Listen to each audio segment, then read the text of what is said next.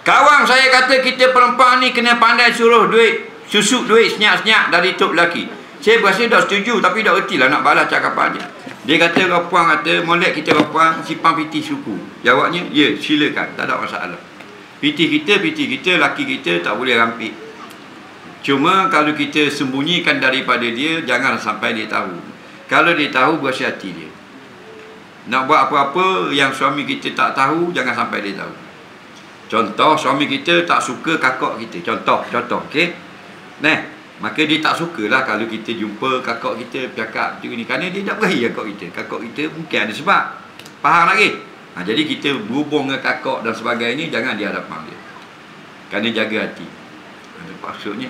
Dan seorang suami tak berhak men, men, menyekat isteri dia daripada berhubung dengan adik-adik dia, ibu bapa dia. Ha, dia ada hak dia.